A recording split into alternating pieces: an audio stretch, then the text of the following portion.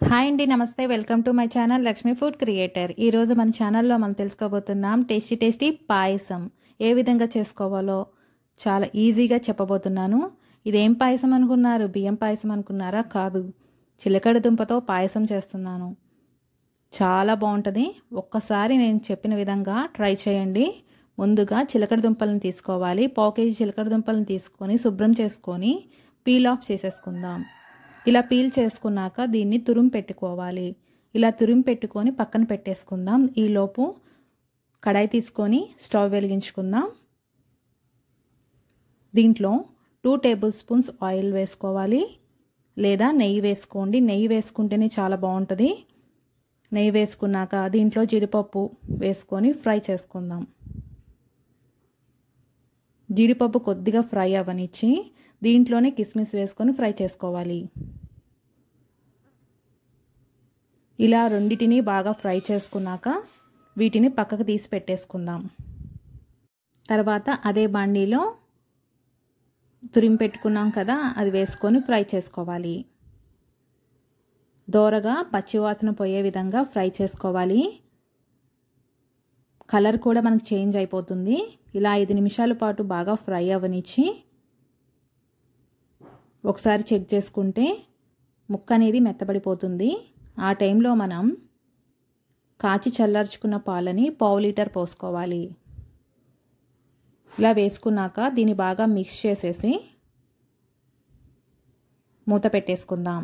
ఈలోపు ఇంకొక బా ఇంకొక బర్నర్ మీద ఒక గిన్నె పెట్టుకొని పావు కేజీ బెల్లాన్ని తురిమి పెట్టుకొని దీంట్లో వేసుకొని ఏ కప్పుతో అయితే తీసుకున్నామో అదే కప్పుతో హాఫ్ వాటర్ పోసుకొని బెల్లాన్ని కరిగించేసుకుందాం. బెల్లం కరిగితే సరిపోతుంది. పాకమేం అవసరం లేదు. ఇలా బెల్లం మొత్తం కరిగాక స్టవ్ ఆఫ్ చేసేసుకొని దీన్ని కూడా పక్కన పెట్టేసుకుందాం. ఇప్పుడు ఎలా ఉడుకుతుందో ఒకసారి చెక్ చేసుకుందాం. దీంట్లో వన్ టేబుల్ స్పూన్ బియ్య పిండి వేసుకొని టూ టేబుల్ స్పూన్స్ వాటర్ పోసుకొని పేస్ట్లా చేసుకోవాలి.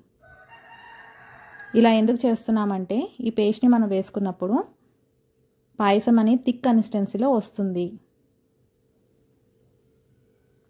ఇప్పుడు మిక్స్ చేసేసుకుందాం. చూడండి బాగా థిక్గా అనిపిస్తుంది కదా? ఇలాంటి టైంలో స్టవ్ ఆఫ్ చేసేసుకొని ఇందాక కరిగించి పెట్టుకున్నాం కదా బెల్లాన్ని ఇప్పుడు వడకట్టేసుకుంటూ పాకాన్ని దీంట్లో వేసేసుకోండి. బెల్లం మాత్రం వడగట్టుకోవాలి మర్చిపోకండి. ఇప్పుడు మొత్తం మిక్స్ చేసేసుకొని ఫైనల్గా జీడిపప్పు కిస్మిస్ వేసుకొని సర్వ్ చేసేసుకోవడమే. చాలా ఈజీగా అయిపోయింది కదా నిజమండి పది నిమిషాల్లో అయిపోతుంది. కన్సిస్టెన్సీ అనేది చూడండి ఈ విధంగా ఉండాలి.